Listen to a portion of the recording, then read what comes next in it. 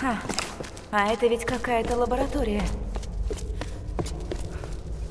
Их отправили сюда изучать природу бурь?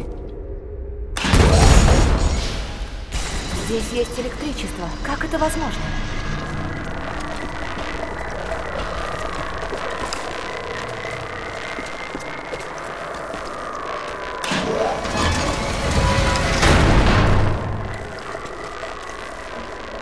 Нужно найти путь на ту сторону.